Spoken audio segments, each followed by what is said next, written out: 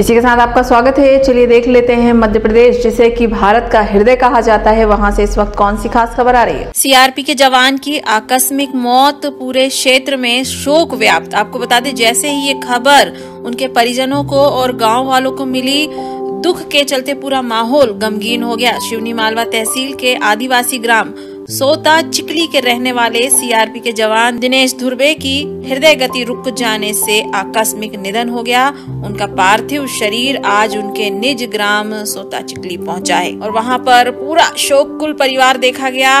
रोते बिलकते लोग नज़र आए। थाना प्रभारी शिवनी मालवा संजय चौकसे ने जानकारी दी है कि मृतक एक सौ सीआरपी बटालियन के जवान दिनेश धुर्वे छत्तीसगढ़ में पदस्थ थे, जिन्हें प्लेन से नागपुर लाया गया है, जहाँ से चार पहिया वाहन से उनके ग्राम लाया गया, जहाँ सीआरपी के कमांडेंट अनिल बघेल और उनके साथी जवानों ने पहले उन्हें गॉड ऑफ़ ऑनर दिया। उसके बाद वहाँ मौजूद स्थानीय प्रशासन में थाना प्रभारी नायब तहसीलदार नीलेश पटेल उप निरीक्षक आकाश शर्मा ने श्रद्धांजलि दी।